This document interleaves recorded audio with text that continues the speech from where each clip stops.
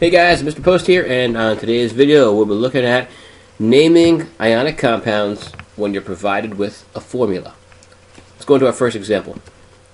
Alright, here we go. The formula is Na1F1 or NAF, and I want you to provide a name for me. Can you actually name that compound? On a quiz, you would see this with multiple choice answers perhaps. And if you weren't, you still need to know how to answer this question. So please press pause, attempt to answer this question. Anytime I'm naming binary ionic compounds, binary ionic compounds meaning ionic compounds with two elements involved in them, the first thing you're going to do is write down the name of the first element is sodium. And then you have to name the second element. Now, traditionally it's you would say sodium and fluorine.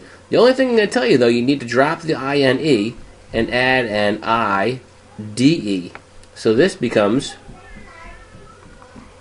sodium fluoride.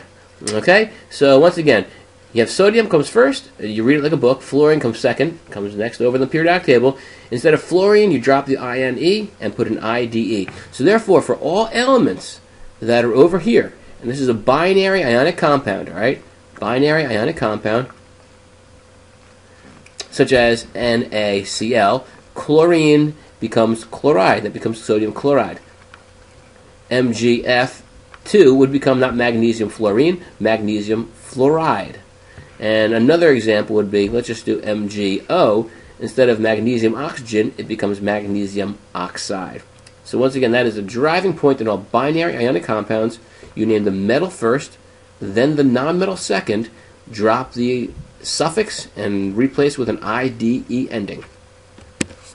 Okay, guys, here we go. This is NaHCO3. Can you name this? Okay, take a shot. You might need to use um, some information from a different worksheet we had in the past to answer this question, but please give this one a shot. Press pause and fire away. Okay, well, the first thing I'm going to note here is that the first element is sodium.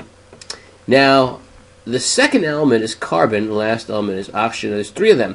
Now, this actually happens to be a polyatomic ion, CO3. And that polyatomic ion has a name. Carbonate. Now, polyatomic ion is an ion. An ion is an oh, a group of atoms or an atom that has a charge to it. And this actually has a charge. It's 2 minus. So carbonate is an ion. It has a 2 minus charge. It's called polyatomic because there's more than one atom. And guess what? It has a charge. So when I write this down, this becomes sodium carbonate. Okay, it's not sodium carbon dioxide, it's sodium carbonate. Okay, I think a lot of people I've seen actually use this and they say sodium carbide or something uh, bizarre like that, please, you'll be given a list of polyatomic ions, reference them, and name them exactly as you see.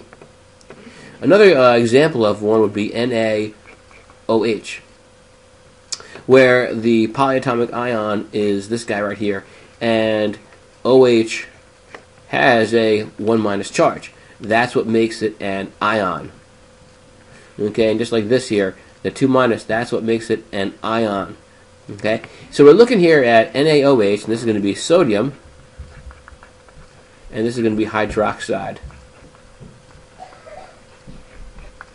Alright, dudes, so you don't change any IDA ending this sodium hydrogen hydride something bizarre. You're going to look, look at a list I'm going to provide you with of polyatomic ions, name them uh, from that list. So this, for example, I gave you on this slide was sodium carbonate. Alright guys, last example we're doing today is this one. This is AuO2. Uh, please do me a favor and name this guy.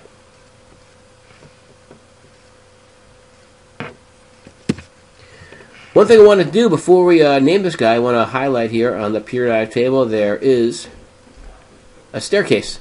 And the staircase separates the non-metals from the metals.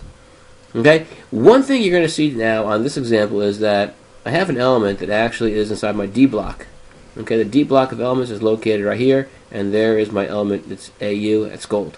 So gold is located right here, and you're not going to be able to look at the top of the column and get the charge. Okay, you cannot find the charge by looking at the top of these numbers here. These numbers will not help you at all for finding the charges.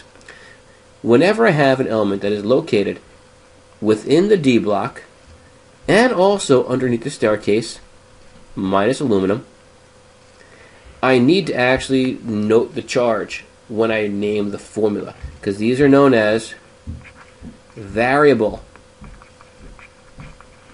charge ions. Because they have more than one charge, we have a whole lesson on this, guys. You can tune into that uh, video for it. You need to name the name the charge when you name the element. So once again, it's for an element that's found in the D block and underneath the staircase minus aluminum. So all these elements in blue would need more than one charge named. So when I name this one, I'm going to name this gold. And I'm going to name it with the charge going inside there. So with the charge is going to get whatever the charge is. I'll put it inside there. Gold something, and this is oxide. Because this is still a binary ionic compound. That's an element that has a compound that has one atom and two different types of atoms. There's not a third type of atom in there. There's just two types. Therefore, I get the two binary ionic compound. So we need to find out what the charge on oxygen is. I think the simplest way to do it would be just to draw it like this. I have two oxygen atoms, and I have one gold atom. And each oxygen atom is a given. The given is it's a 2 minus charge, 2 minus charge. Guess what, guys? I got four minuses there altogether. Over here, I must have a 4 plus. That 4 plus needs to be distributed only into one atom, making it a 4 plus. So the charge up here is actually going to be Roman numeral 4. So it's gold 4 oxide.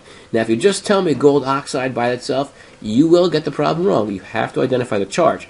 The charge on gold is 4, and that is the charge we see right down there. Alright, guys, it's just meant to be a quick review, helping you for this upcoming exam. Best wishes. Take it easy, guys.